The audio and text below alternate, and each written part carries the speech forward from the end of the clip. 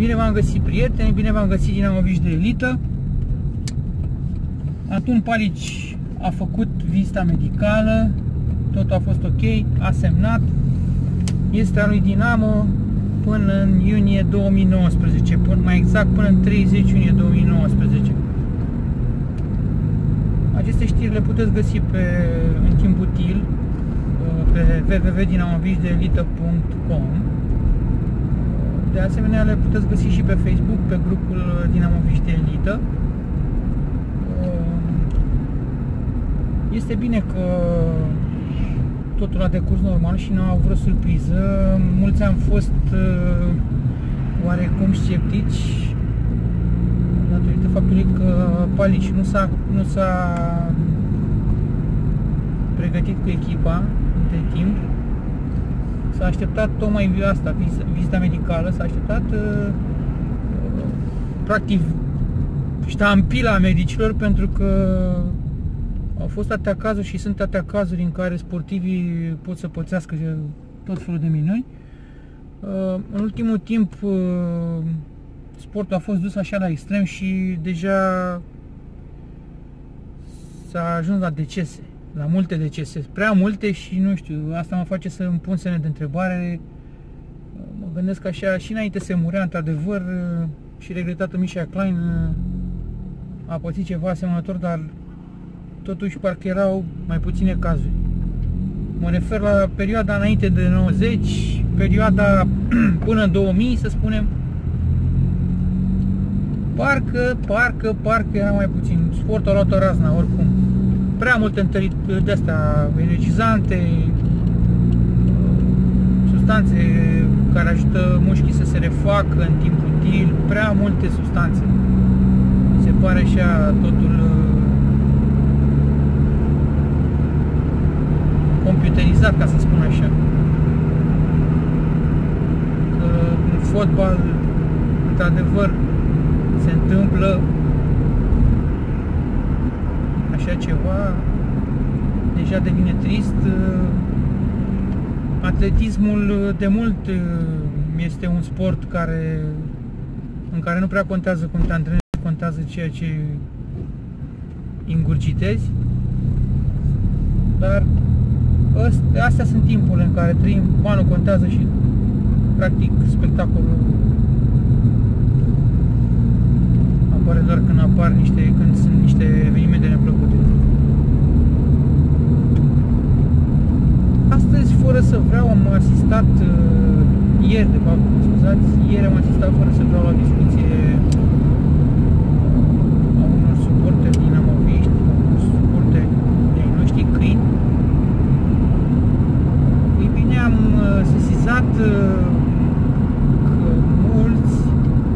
contestă pe antrenorul uh, Vasile Miliuță, cum de altfel și eu îl contest, uh, dar și unii dintre noi și destul de mulți și ei, deci suntem practic și dați așa împărțiți în două, uh, îi acordă un vot de încredere și sunt de, sunt de părere că el nu a greșit cu nimic, este vina exclusivă a lui Negoiță, a conducerii, a managementului defectuos.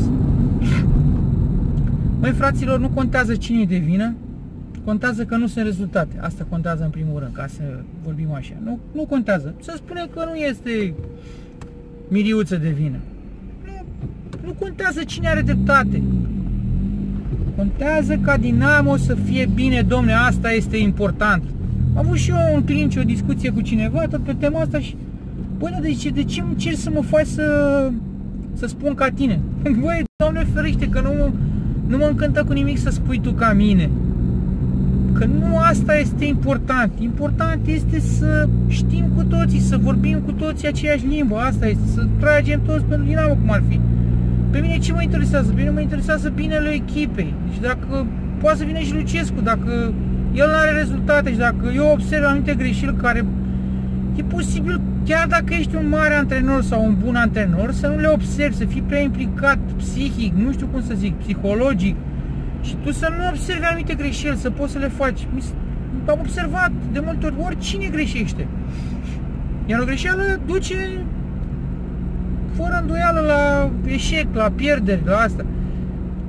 E întotdeauna constructiv ca să existe un dialog între, între suporteri, între eu știu, și ar trebui chiar managerii să mai caște câte un ochi așa din când în când la pe eu știu, grupurile astea de, de dinamoviști să, să citească pe site-urile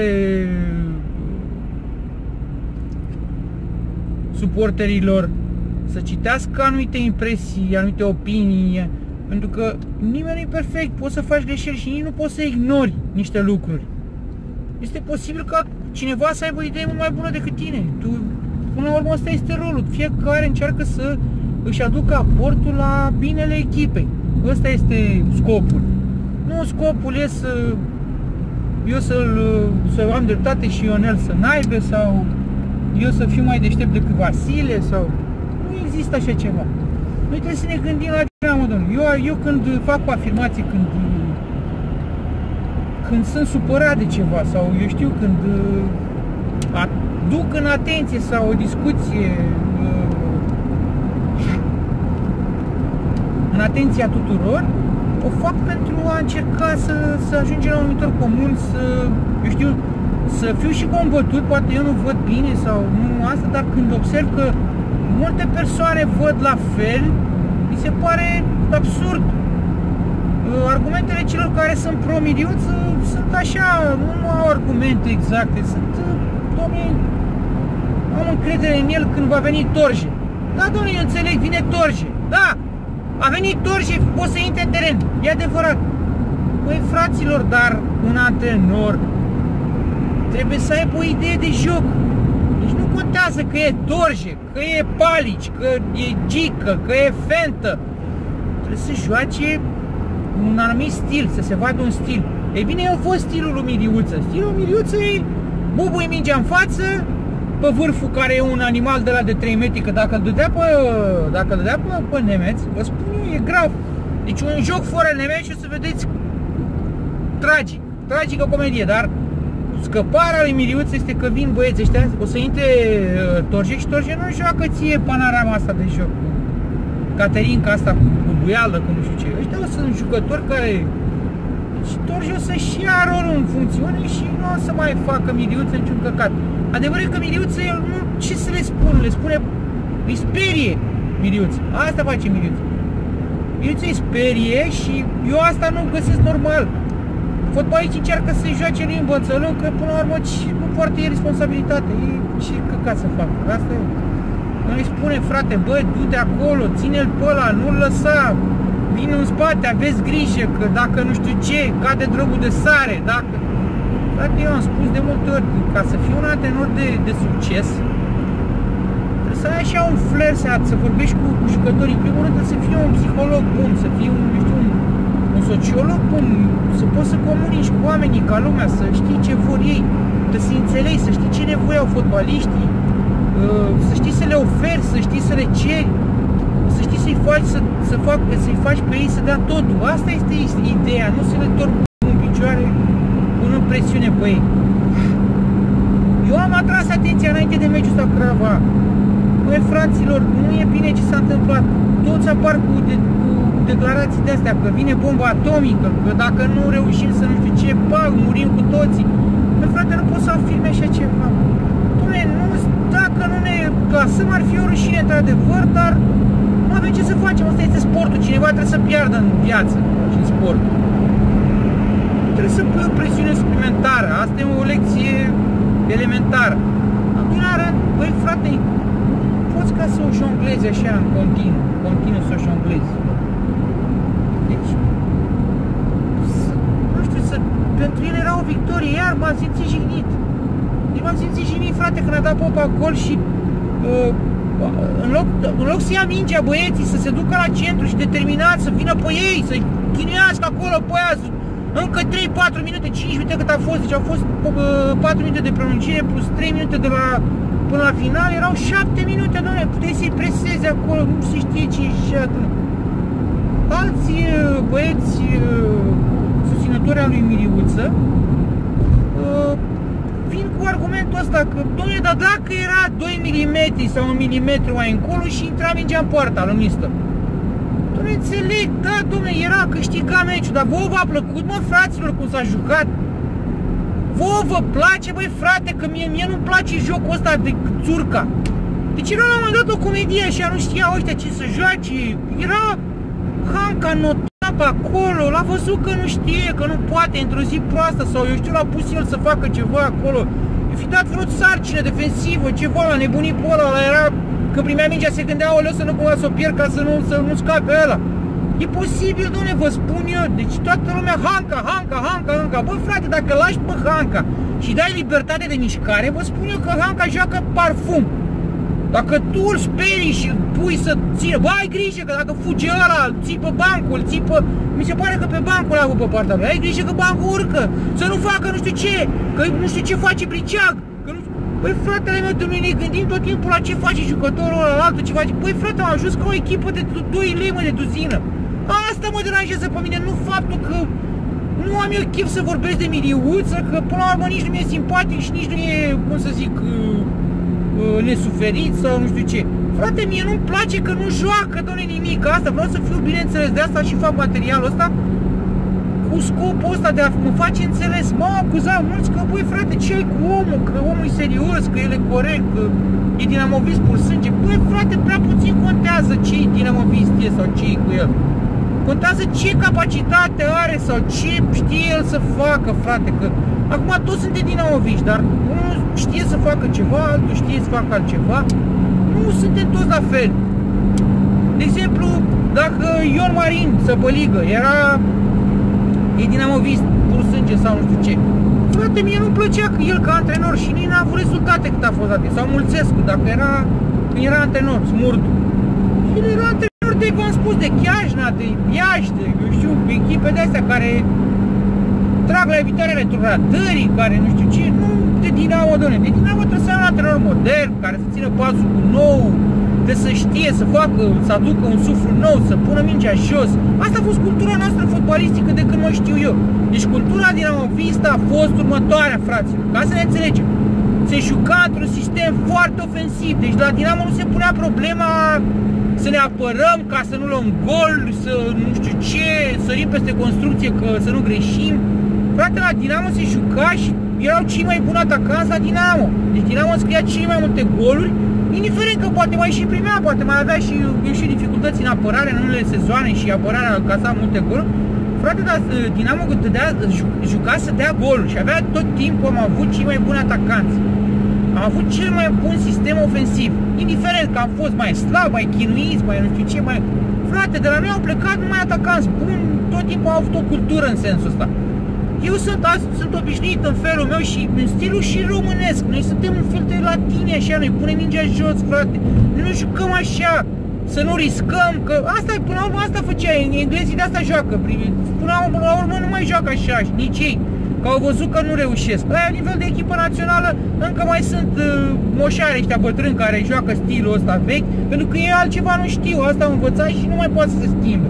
Dar sunt ăștia lupii tineri care deja au venit din urmă antrenorii tineri și asta și încearcă să pună mingea jos sau deja au venit foarte mulți jucători uh, brazilieni, jucători uh, eu știu, spanioli, au venit toți felul de nații italieni care pun mingea jos, fraților, și am început să le ofere și lor o cultură fotbalistică de genul ăsta. Dar noi acum, mi se pare total absurd ca în România să joce așa să dai pe vârf, vârful să vadă dacă poate să devieze pentru un nu știu ce și dacă avem un corer sau ceva, atunci punem presiune și încercăm să marcăm. Păi frate, nu merge așa, nu, nu, nu jucăm așa. Dar măcar dacă se juca așa, așa până la urmă. Sau reușeai să scrieți un avantaj, dar să făceai un sistem atât de bun încât să poți să duci mingea jos, să poți să duci mingea acolo în careu și asta era. Dar nu vedeți, domnilor, că în primele 17 minute, 20 de minute, până ne-a băgat cațegală la mortul în casă, că până la urmă asta a fost, într-adevăr, recunosc, a fost și eu, și eu, eu știu, o greșeală de arbitraj sau, hai să spunem greșeală, dar a fost o japcă aici. Recunosc asta. S-a, s-a uh, uh, făcut în așa fel încât uh, noi, în timp de 20 de minute, echipă gazdă, nu am jucat nici defensiv, nici ofensiv și vă spun și de ce, v-am scris și în știrile, în sinteța știrilor zilnice și cred că am scris și în editorial. uh, fundașii noștri se călcau pe picioare, domne, pentru că erau patru inși trași acolo. Băi, frate, tu când vezi că ăștia nu au vârf, ce rost are tu? Eu, eu cred că treceam la sistem de trei fundași. Vă spun din start. Eu, eu dacă eram antrenor cu Craiova, eu treceam la sistem de trei fundași și puneam presiune pe ei. Puneam presiune și ei nu mai puteau să construiască. Deci asta a fost toată șmecheria care au avut-o uh, oltenii. Au avut pigmei acolo, i-au tras înapoi și au venit din linia a doua. Asta a fost ideea. Dar dacă tu le îi combăteai și nu mai țineai fundașii degeaba acolo și veneai peste ei, ei nu mai putea, domne, să ajungă cu mingea la piticie acolo. Ei trebuia să sară peste faza de construcție, că veneai peste ei, erau disperați, puneai presiune pe ei și îi degajau iurea și atunci ați văzut ce s-a întâmplat în ultimele minute. Cam asta s-a întâmplat. S-a introdus, deci Miriuță când a văzut că nu mai poate să facă nimic, în prostia lui, nebunia lui ce vă spune acolo, că n-a fost inspirație, că de ce n-a făcut chestia asta și în alte meciuri? Nu. Vă spune ce a făcut. A făcut, a mai aplicat la Timișoara, am văzut în, ultim, în ultimele minute parcă, l-a băgat pe Moldoveanu, dar acum a, a băgat tot ce a avut, all in. A spus, băi frate, ce o fi, o fi. Dacă avea patru atacanți, îi băga pe patru, spun, vă spun eu. Asta am mai văzut la un antrenor român cu, la națională, dar nu mai știu. Și a băgat 5 atacanți, să nu știu ce a avut pe acolo și i-a băgat pe toți. Asta a făcut și el, i-a băgat acolo, Domne, în prostia lui acolo și în disperarea lui a făcut un lucru extraordinar pentru că a zis, bă, futui măsa. Băi, dar de ce nu spui de la început, măi, omule? De ce nu joci, măi, din prima? Ai nevoie de victorie, frate, nu ai nevoie de egal, nu ai nevoie de nimic. Ai nevoie de victorie. Tu când ai nevoie de victorie, te urci peste adversar, îl sufoci, îl surprinzi și ești pe el. Nu-l lași să respire, că a venit la tine acasă. Dacă lasă să joace pe, pe, pe ăla pe mangia, o să ai probleme. Pentru că atunci îi vin și lui la idei și începe să facă și la tot felul de inovații și de chestii și tresti. Plus că le dai apă la mor la piticănile alea să pună mingea jos, să vină cu minge și normal că îl pui în dificultate pe un Nica care are 1,80 și îl pui în dificultate pe un Edelcearu care îl, îl lași cu mitriță, ăla 1,50 m sau l-ai lăsat cu Gustavo pe Popescu acolo, Popescu a călcat pe el acolo. Păi asta este problema, nu, nu gândim, nu nu suntem atenți la joc, nu? Ce, ce stil e? Deci nu avea niciun stil. Cam asta, asta vreau să spun eu. Nu am ca cu miliuță. Poate să facă ce o face el. Păi frate, dacă ar, ar arăta ceva, ar face ceva la echipa asta constructiv, eu aș spune despre el că a făcut, domnule, că am, am și spus, domnule, mutarea asta care a făcut-o prin introducerea lui lui Robert Moldoveanu, că vă spun eu, nu, că unii mulți au zis că dacă a intrat Popa, a făcut Popa, nu știu, Popa n-a făcut nimic, vă spun eu. A intrat Popa și a fost o degringoladă în momentul când a intrat și uh, Olteanu, pentru că Olteanu nu putea să joace, uh, Pesici nu putea să joace, până la urmă l-a trecut pe Olteanu pe stânga și pe Pesici pe dreapta, l-a scos pe Pesici din joc, nu mai juca nimeni nici Pesici, nici nu erau obișnuiți băieții să joace acolo, să-i pui așa pe partea asta. Și atunci el a fost forțat să schimbe pe Pesic. E, din momentul când l-a schimbat pe Pesic, vă spun eu, l-a băgat pe Moldoveanu, nu că a intrat Moldoveanu și că a fost nu știu ce sau că era Olteanu, nu știu ce și nu știu ce. S-a creat odată o problemă pentru Olteni, pentru că au venit foarte mulți atacanți pe ei acolo, odată. Aveau responsabilități. În al doilea rând, Nistor a fost retras la centrul terenului. Nistor a avut o poziție în spatele vârfului, așa a jucat el. În momentul când el a, el a coborât practic din momentul uh, în care a intrat uh, Popa, dar nu s-a văzut prea tare. Abia în momentul când s-au au venit trei atacanți și Nistor a avut practic uh, mici de recuperat, pentru că atacanții au pus probleme și uh, oltenii nu mai puteau să iasă cu mingea jos. Era o densitate mare de jucători acolo și atunci îi trebuia să degajeze.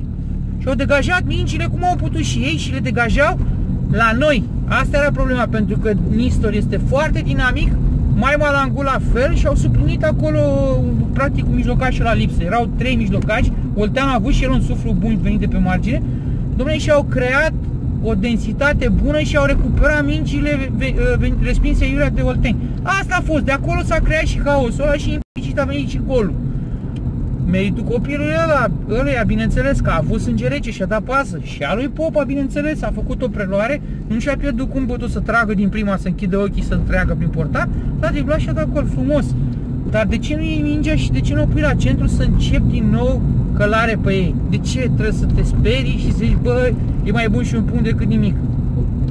Asta este mentalitatea care eu o condamn. Uh, nu sunt de acord, vă spun.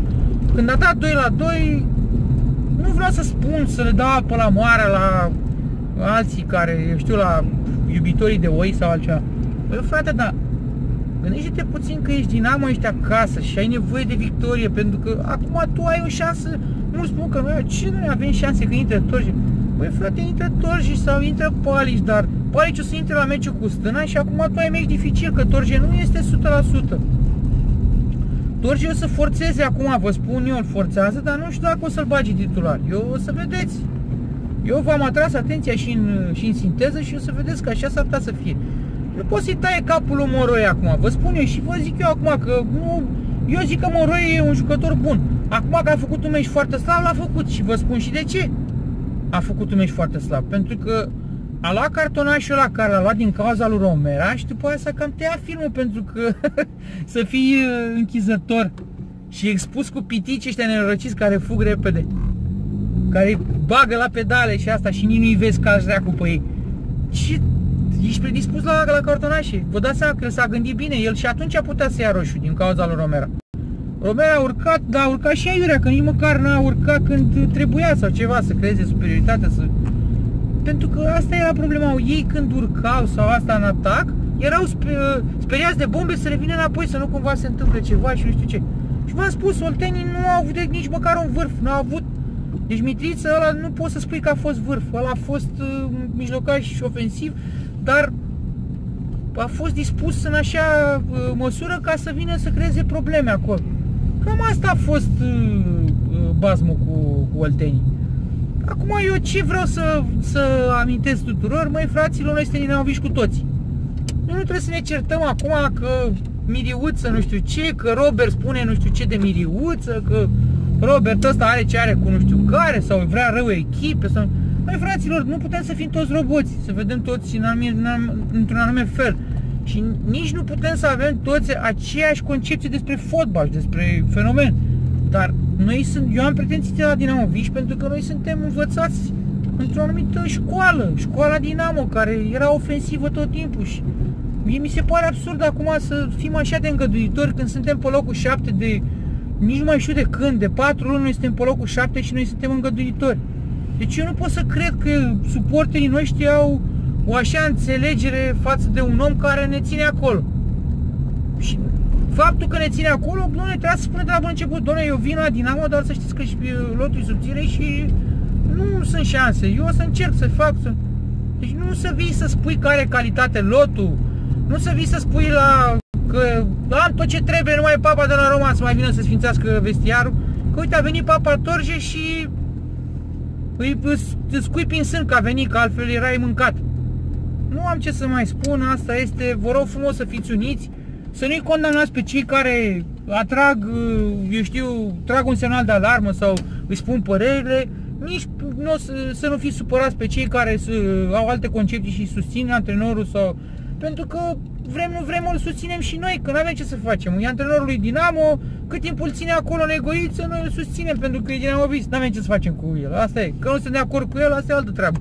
Dar nu trebuie să procedăm ca în politică. Parcă suntem PSD-ul cu nu știu care și nu știu ce. Nu, asta este, suntem Dinamo Vis cu toții și trebuie să tragem toți în aceeași direcție. Doar Dinamo București este inimile noastre, vă salut prieteni!